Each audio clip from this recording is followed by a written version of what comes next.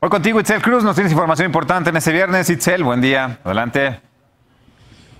Muy buenos días, Carlos. Yo me encuentro ubicada en el Parque de los Venados, en la alcaldía Benito Juárez, donde se encuentra esta feria de juegos mecánicos que fue suspendida el día de ayer por medidas de protección civil.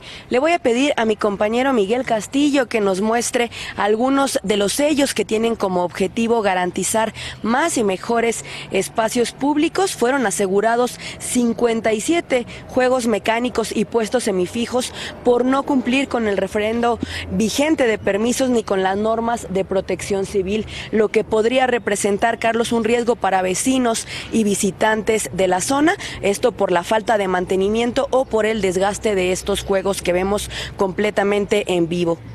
Déjame comentarte que además del acordonamiento de los juegos mecánicos y de estos puestos, se inhabilitaron cinco plantas de luz, se retiraron eh, también algunos cables eléctricos que conectaban a la red de suministro público y hasta algunas maquinitas para hacer palomitas, algodones o papitas, estas que siempre están presentes en todas las ferias. Aquí también, Carlos, están algunos de los propietarios, los veladores, cuidando sus juegos mecánicos, incluso pues ya hay quienes están desmontando sus equipos. Todavía algunas personas de la vía pública que están evaluando también aquí las maquinarias y haciendo algunas anotaciones. Destacar que le quedan 48 horas aproximadamente a los dueños para presentar los permisos correspondientes todos estos pues son negocios familiares, Carlos. Esta feria nos, esta feria nos dicen que opera desde hace casi 30 años y pues es el sustento de muchas personas, cerca de 80 familias. Esto es lo que nos cuentan los propietarios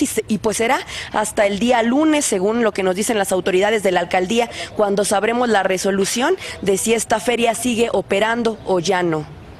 Pues la seguridad ante todo en estos, en estos casos estaremos muy pendientes. Itzel, gracias. Gracias por tu reporte y muy buenos días.